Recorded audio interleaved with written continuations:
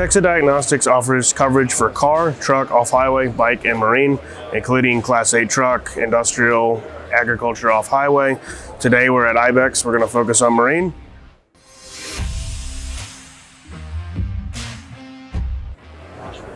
So our marine coverage includes inboard engines, industrial engines, uh, generators, outboard engines, as well as PWC, personal watercraft. So I want to go over some of our more in-depth coverage, um, some of the stuffs we can offer um, that our competitors may not be able to offer. So if we look at our inboard engines, we'll go look at a Volvo Penta. And we're going to do a D9 EVC.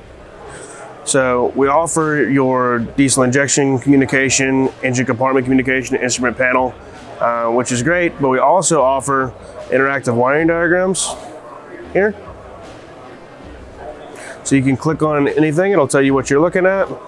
They have operational cards, so it's operating principle. This. So this is available for most of our major makes and models as well. We also offer technical data sheets. Uh, this is anything, uh, joystick calibrations, self-configurations, throttle pedal learns, anything that Texa thought you might uh, benefit from having a manual procedure for. So all of these have been added to our software now.